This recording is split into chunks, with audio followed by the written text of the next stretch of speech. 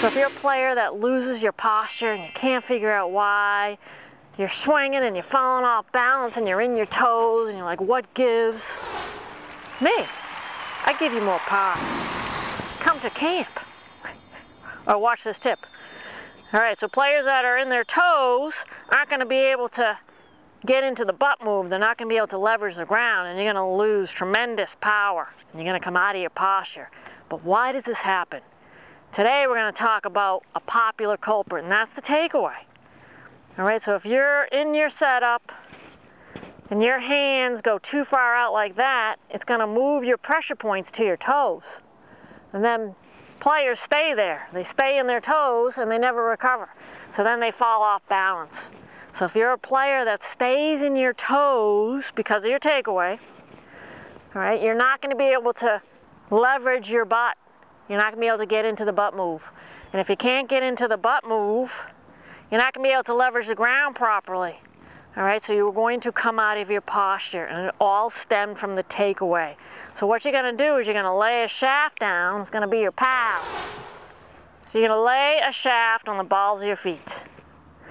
All right, now from here, you're going to take your hands, and you're going to drag them straight back. So you're going to feel like your hands are going to go right over the shaft.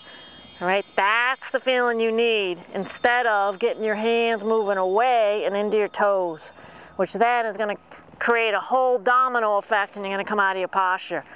It's going to be really challenging to recover from that. So drag your hands straight back and then you're going to be able to sit deep, get your hands deep, get your butt deep. So then you can stay in your posture. Right, that's a really important point. If your hands go out, it's going to tend to put you in your toes. So just laying a shaft like this at the range, getting your hands to feel like they're right over the shaft versus out here, is just going to help you get into a proper backswing position so you can really stay in your posture. Another popular reason why you might be coming out of your posture is that you're setting up in your heels. I see this quite a bit.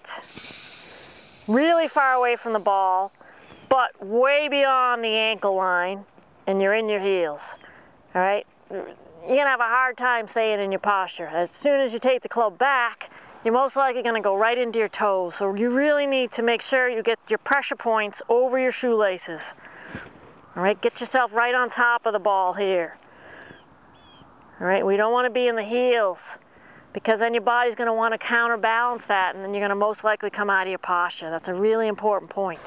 All right, so if you need more help with your posture, come to camp. Head to morepars.com. And if you can't come to camp just yet, head to morepars.com and sign up for my virtual camp. Or download my app, morepars.tv. Tons of tips that you won't see anywhere else that are going to help you stay in your posture.